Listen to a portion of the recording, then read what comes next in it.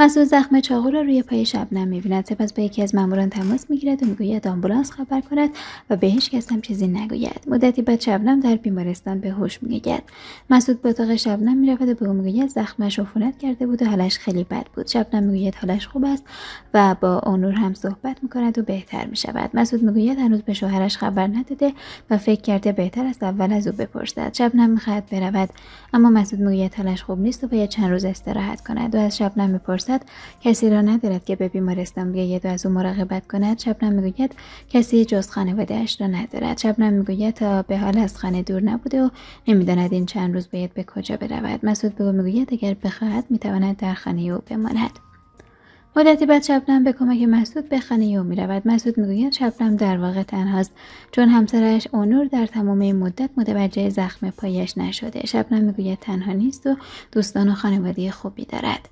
مدتی بعد شبنم عکس اونور و ملیسا را برای اونور میفرستد. اونور شوکه می شود و با شبنم تماس می‌گیرد اما او جواب نمی‌دهد. مسعود برای شبنم سوپ درست می‌کند. شبنم به یاد میآورد پدر و مادرش وقتی او مریض می‌شد اهمیتی نمی‌دادند. مسعود از او می‌خواهد درباره زخم پایش صحبت کند شبنم می‌گوید کار همان مردی است که تعقیبش کرده و این هم تقصیر مسعود است و نتوانست به شوهرش بگوید و دکتر هم نرفت تا اسمش سر زبانها نیفتد. مسعود می‌گوید امکان ندارد در این مدت زخمش عفونت کرده باشد. شبنم می‌خواهد برود و می‌گوید آنجا امنیت ندارد. مسعود می‌گوید کنار او جایش امن است و دیگر در این باره صحبت نمی‌کند. اندور هرچه با شبنم تماس می‌گیرد و جواب نمی‌دهد و به دیدم زنگ می‌زند. دیدم می‌گوید شبنم کنار اوست ولی چون هوشیار نیست نمی‌تواند جواب بدهد. اونور با مهمت کسی که به او سفارش ساخت انگشتر داده تماس می‌گیرد و از او می‌خواهد سریعتر آن را آماده کند. فردا صبح مسعود می‌بیند که شبنم زودتر از او بیدار شده و رفته. شبنم به خانه برمیگردد و با دیدن گلدان لاله سیاه حرف یایسل را به یاد میآورد. در کافه دیدم و با تعجب به بهار نگاه می‌کنند که حلقه جدید خریده و بقیه به می‌گویند انگار شوهرش بیشتر از قبل دوستش دارد. شبنم با دیدم تماس می‌گیرد و می‌گوید اونور و ملیسا با هم وارد رابطه شدند و حتما آیسل هم از آنها مدرکی دارد. در خانه شبنم اونور می‌خواهد با او صحبت کند و می‌گوید می‌داند جوری به نظر می‌رسد که انگار به او خیانت کرده ولی اینطور نیست. شبنم حاضر نیست صحبت کند. اونور می‌گوید هر وقت آماده بود با هم حرف می‌زند. ملیسا با ایسل تماس می‌گیرد و می‌گوید هنوز درباره اتفاقات پیش آمده صحبت نکردند و از او می‌خواهد در مراسم آخر سال شرکت کند. آیسل قبول نمی‌کند و می‌گوید او و شبنم نباید با هم روبرو شوند چون هنوز نمی‌دانند بین اونور و شبنم چه اتفاقی افتاده و نمی‌توانند ریسک کنند استر که گوشی را قطع می‌کند ملیسا با خودش می‌گوید هنوز او را نشناختهاند. رفیق به ازمیر برمیگردد و با دستیار صلاحالدین تماس می‌گیرد و می‌گوید پلیس دنبالش است. دستیار صلاحالدین پیش او می‌رود و ماجرای رفیق را می‌گوید و صلاحالدین دستور کشتن رفیق را می‌دهد. بعد از دستیارش می‌خواهد کار بی سر و صدا انجام شود چون مسعود روی آنها حساس شده. فردا صبح شبنم می‌خواهد بچه ها را به مدرسه ببرد که اون رزو می‌خواهد با هم صحبت کنند. اما شبنم می‌گوید بهتر است با بچه ها وقت بگذراند و می‌رود. اونور با مهمه تماس می‌گیرد و می‌گوید باید همین الان انگشتری که سفارشش را داده بود از او بگیرد. مهمت که با ملیسا دوست است با او تماس می‌گیرد و می‌گوید اونور سفارش انگشتر داده ملیسا با خوشحالی با ایسل تماس می‌گیرد و می‌گوید مشخص است اونور خیلی تحت تاثیر او قرار گرفته و احساساتش را به یاد آورده. برای همین برایش انگشتر سفارش داده. ایسل هم خوشحال می‌شود و تبریک می‌گوید. ملیسا از او می‌خواهد شب به مهمانی بیاید ولی آیسل می‌گوید تا دادگاه تمام نشده نباید جایی با هم دیده شوند.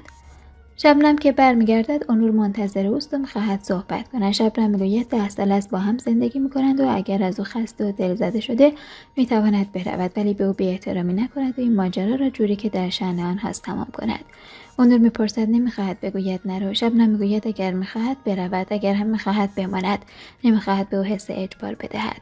اونور انگشتر را به شبنم نشان می‌دهد و می‌گوید شاید گم شدن آن علامت این بود که چیزهایی که دوستشان دارند را یادآوری کند و او و بچه هایش را با هیچ چیز عوض نمی کند. شبنم انگشتر را در دست می کند و قبول می کند که به زندگی با اونور ادامه بدهد. اونور از شبنم می خواهد شب با هم به مهمانی آیسل بروند.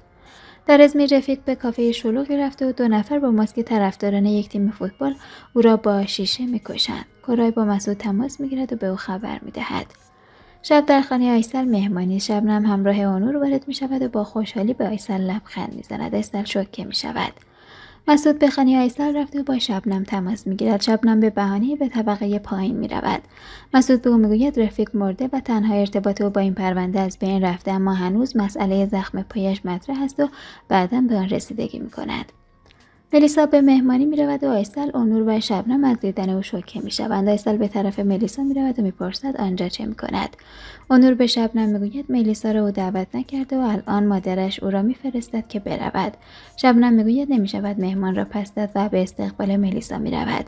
ملیسا می بیند که انگشتر در دست شبنم است و ناراحت می شود. شبنم با لبخند با ملیسا صحبت می کند و می‌گوید شنیده بود از آمریکا برگشته و می‌خواست با هم ملاقات کنند. او به ملیسا می‌گوید از این به بعد پیش خودش باشد و او را وارد جمعهای دوستانه می کند و در استانبول میگرداند. هم از رفتار صمیمانه شبنم تعجب کردند. دستیار صلاحالدین پیش او می‌رود و می‌گوید رفیق در استانبول برای اینکه نیازی را پیدا کند گزارش گم شدن او را به پلیس داده و مسعود هم اینجا شک کرده و دنبال آن است. او می‌گوید رفیق مرده و سر نخ از بین رفته. ولی در این بین ماجرای زنی وجود دارد که قرار بود رفیق وقتی او را دید برایش تعریف کند.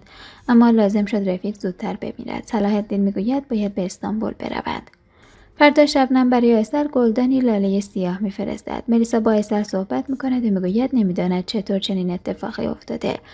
آیسل می‌گوید شبنم همسر اونور است و به این راحتی بنیان یک خانواده است هم نمیپاشد ملیسا می‌گوید آیسل را مقصر می‌داند در حالی که خودش به او در آمریکا تلفن کرد و از او خواست دوباره به اونور نزدیک شود. آیسل می‌گوید ماجرا را بزرگ نکند و آنها فقط سر راه هم قرار گرفتند و می‌خواست بداند اونور احساس خوشبختی می‌کند یا نه که الان مسئله حل شده.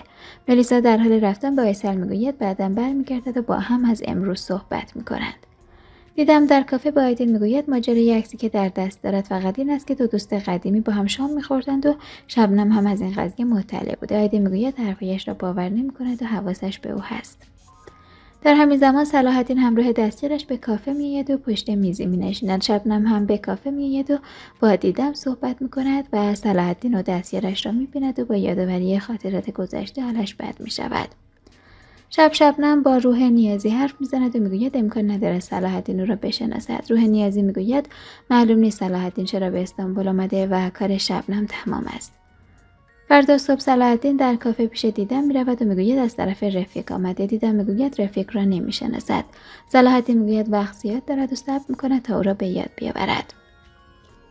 مدتی بعد صلاحالدین دوباره می‌خواهد با دیدم صحبت کند و چاقوی نیازی را روی میز می‌گذارد و می‌پرسد نیازی را هم نمی‌شناسد دیدم عصبانی می‌شود و می‌گوید نیازی را نمی‌شناسد و حق ندارد در مکان او چاقو روی میزش بگذارد مسعود به مهمانی مادرش می رود. نیلگون مادر مسعود ملیسا را به اون معرفی می کند و ماجرای رابطه او و آنور را می گوید و می‌گوید به نظرش او مطابق سلیقه مسعود است. مسعود ملیسا را برای خوردن قهوه همراهی می کند و درباره اونور می‌پرسد و ملیسا می‌گوید آنها می‌خواهند دوباره با هم وارد رابطه شوند. مسعود می‌گوید پس اونور به ملیسا توجه نشان می‌دهد اما از شبنم هم نمی‌تواند جدا شود. ملیسا می‌گوید اگر به اونور کمی جسارت بدهد از شبنم جدا می‌شود و رابطهش با او خیلی وقت است که تمام شده. شبنم به کافه دیدم می‌رود دیدم درباره صلاح الدین صحبت می‌کند و می‌گوید او چاقوی روی میزش گذاشت و درباره نیازی و رفیق حرف زده. شبنم مضطرب می‌شود و لوکیشن کافه را برای مسعود میفرستد. مسعود به کافه می رود و صلاح الدین را می‌بیند. و سر میز صلاح الدین می رود و با عصبانیت می‌پرسد آنجا چه کار دارد. مسعود سر میز می نشیند و می‌پرسد نیازی کجاست و صلاح الدین می‌گوید او را نمی‌شناسد. شبنم به بهانه برداشتن بچه از مدرسه می رود و مسعود دنبالش می رود. شبنم می‌خواهد سوار ماشین شود که مسعود جلوی او را می گیرد و از شبنم می‌پرسد واقعا کیست. شبنم می‌گوید او را به آنجا دعوت کرد تا بابت کمکهایی که کرده تشکر کند. مسعود باور نمی کند و می‌گوید شبنم حتما الدین را می‌شناسد. به دور همی با دوستان دانشگاهش رفته و در حال صحبت با استاد جودت است و می‌گوید شرکت آنور در زمینه انرژی های تجدید پذیر فعالیت می کند و خودش هم در این زمینه فعالیت دارد و می توانند یک تیم تشکیل بدهند در همین زمان اونور وارد مهمانی می شود جودت درباره پیشنهاد ملیسا صحبت می کند و اونور هم قبول می کند اونور می‌خواهد با ملیسا صحبت کند ولی ملیسا به او بیتوجهی می کند و می‌گوید لازم نیست وجدانش را آسوده کند. شب و نور به شبنم می‌گوید جودت پیشنهاد کار روی یک پروژه و همکاری با ملیسا را داده و اگر شبنم ناراحت می شود این پیشنهاد را رد می کند شبنم پیشنهاد می دهد جلسات همکاریشان را در خانه برگزار کند و ملیسا را برای ناهار دعوت می کند مسعود به خانه برمیگردد و می‌بیند صلاحالدین همراه دستیارش زودتر وارد آنجا شده. صلاحالدین چاقو را روی میز می‌گذارد و می‌گوید آن را در کافه دیدن پیدا کرد و خواست به او اطلاع بدهد. بعد از ظهر ملیسا به خانه شبنم می‌رود. و سعی می‌کند خاطرات گذشته را یادآوری کند و شبنم را عصبانی کند. شبنم با لبخند جواب می‌دهد و از وضعیت و حال خوبشان تعریف می‌کند. او سلفی سه نفره می‌گیرد و برای آیسل میفرستد. آیسل می‌خواهد فورا به خانه اونور برود اما بعد منصرف می‌شود و با خودش می‌گوید بزا به جون هم بیفتند سر میز نهار آنها درباره طلاق ملیسا صحبت می‌کنند و شبنم می‌گوید بچه نقطه عطف زندگیشان است و اگر ملیسا بچه داشت نمی‌توانست جدا شود اونور هم حرف او را تایید می‌کند و می‌گوید زندگی قبل از بچه هایش را به یاد نمیآورد و قبل از هر تصمیمی آنها را در نظر می‌گیرد ملیسا می‌گوید قطبنمایی او خواسته قلبیش است و خودش را محدود به خانواده نمی کند. شبنم ملیسا را برای هفته بعد هم به خانه دعوت می کند. آخر شب وایسل پیغام می‌دهد و شبنم را برای فردا به خانه دعوت می‌کند. فردا شبنم به خانه آیسل می رود و می‌گوید از ملیسا خوشش آمده بود. دوست دوران کودکی آنور است و جدیدا هم دوست پسر پیدا کرد و می‌خواهد آنها را با هم دعوت کند. آیسل می‌گوید زنها برای اینکه کلاس بگذارند می‌گویند رابطه دارند و آنور باور نمی کند که ملیسا با کسی رابطه داشته باشد. ملیسا به گوشی آنور زنگ می‌زند. شبنم جواب می‌دهد و او و دوست پسرش را برای شام دعوت می‌کند. شب ملیسا مسعود را به عنوان دوست پسرش به خانه می آورد. ملیسا به یاد می آورد در مهمانی نیلگون از مسعود خواسته بود در نقشه که کشیده به او کمک کند. ممنون از اینکه با من همراه بودید. خدا نگهدار.